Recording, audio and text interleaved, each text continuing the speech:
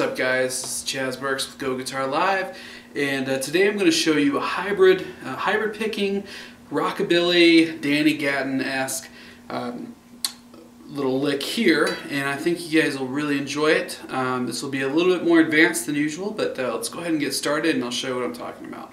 Okay, so if you want to do this, you're going to need a delay pedal or an echo pedal that will do short uh, little delays. Okay guys, so one of my videos, uh, I have two videos talking about hybrid picking. If you're not familiar with it, you need to be a little more um, advanced in uh, your playing to sort of play these licks because you're using fingers and you're using your pick. So I have a couple tutorials uh, that talk about just easy ones to get you started on there. It seems like people really enjoy them. So, uh, but right now this is for someone who does know how to hybrid pick and they're looking for something uh, a little bit harder. I guess you could kind of do it with a pick, but uh, I'm going to show you directly what I did with my fingers. So this is basically a blues, and I just kind of played it in E. So I just played like an E5 right here on the second fret. So I sometimes I would hit the third, and sometimes I would. And then uh, with a delay, so if I play, I'm to try and do this at an angle so you can see this hand too. So, And this is palm muting over here, right here, right past the bridge. And here my delay's on. So you get the feel of the delay. So that's going to be kind of your feel, so you can play that. This is basically a blues.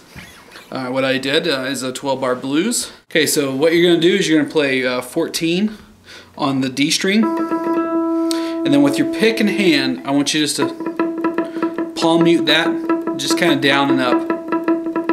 And then these fingers are going to go um, 17 and then uh, on the B string, 16 on the G string. And I'm going to take my two middle fingers and I'm going to play the B string with my ring finger and then my middle finger, sorry, um, is going to play the G string. And they're just going to pull those in, okay? And then my thumb is going to play the D string. Now that little thing, which kind of sounds like uh, the Beavis and Butthead uh, intro. Pretty slick lick actually. Um, this is the, uh, and if you've never heard the intro, you should go back and listen to it. Just a side note. Okay, so we have the um, the D right here is uh, 14, 16, and 17. And then we're to take our middle finger, we're to play 15 on the B string. And that's where you're to lift off your little finger. And so you get those two notes. And then the third chord you're to play, and I'm to show you how to do the rhythm of it here in a second. But the third chord is basically when I'm just to bar down on the 14th.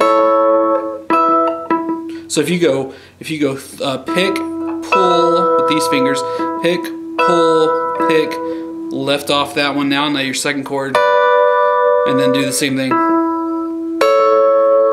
See that? So you have three chords. Dun, dun, dun. So, so that'd be almost like an E and E7 um, and then uh, like an E6 of some sort.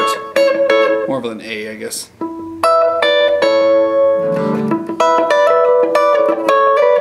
And uh, if you've listened to Danny Gatton, he this is one of the licks that he does quite a bit. Kind of a cool little thing. So we're going to go down up on the D string, our root note. And then we're going to pull that for our first chord. So this is our E, our E7, and this is our A. So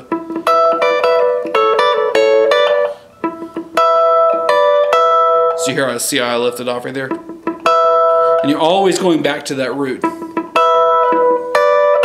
So root, double on the root, and then one single, and then you're gonna hammer on back to that from the E7 to the E. See that? And then back off. Down to your A. Now I kind of probably uh, changed it up quite a bit, but you can get the feel for that as long as you get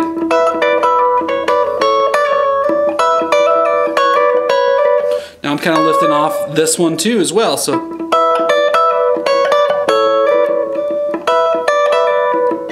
Now I want you to kind of make up your own. You don't have to play exactly what I'm doing. Now you can do that. It's just sort of the Danny Gatton thing, the triplet. Okay, so we have those that shape. That's a really fun shape to kind of play around with. Uh, most uh, blues and uh, uh rock players don't really mess around with that too much. So a bunch of variations, but you really want to be more familiar with how to play with your right hand. This is easy. This is the easy part. You're just lifting off fingers here. But using your hand, it was two different parts, you know, da da da da da da da, and then So two bass notes. So did you see that? Two bass notes, chord, and then a bass note, and then the chord, the hammer on from middle finger to your pinky. And back off. Now we're gonna go bass note again, the chord, bass, and then pull your uh, A chord there. So,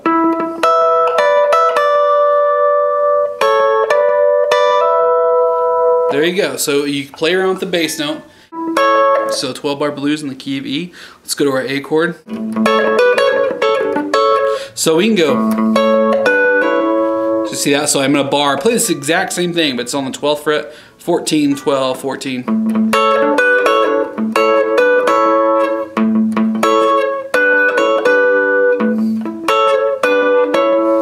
bass chord. So you can just play around and get the rhythm of that. You can fast or rewind it and, um, and see what I did there. Go back up to E. Play a little variation of that. Uh, whatever you want to do. Um, so you got your place where to play the E, your A, or you can do that with E too. Uh, just go down to 9 and 7. Now, when you get to the B, the turnaround of the, of the song, and if you're not familiar with these terms, turnaround, I suggest there's tons of uh, uh, uh, tutorials online to find that out. Um, what how to play a blues, and maybe I should do that for a future lesson. Um, just the basic uh, understanding of what a blues is and, and uh, the structure of it.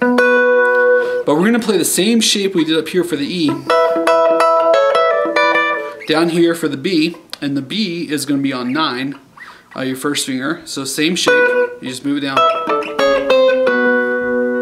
And then your little finger's on 12. So that kind of stretches everything out. Same thing, done. Now the turnarounds are pretty quick. Now we're to go down to A. So that's just one whole step behind or two frets. So now your first finger's touching 7 and everything else goes down two frets too, of course. So keeping that hand same place. So, so so far.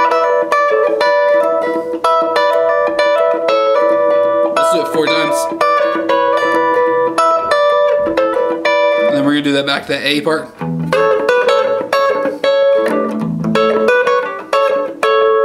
Now let's go down to E and play the same thing, but we're gonna do the same thing we just did here with A. And then for a bass, we just use the, uh, the open E. And then for our B, our turnaround, we come up here, and we're gonna do the same shape we did at the beginning. Down to A here. Then you can just kind of write it out. hope that was useful. I know that this might be a little bit tricky for some guys, um, but keep it up and keep working with both hands. I think that's a, uh, a huge uh, improvement for a lot of people is when they can play uh, sort of chicken pick or uh, you know hybrid pick or whatever you want to call it. So, um, all right, well, again, we'll just uh, see you next time.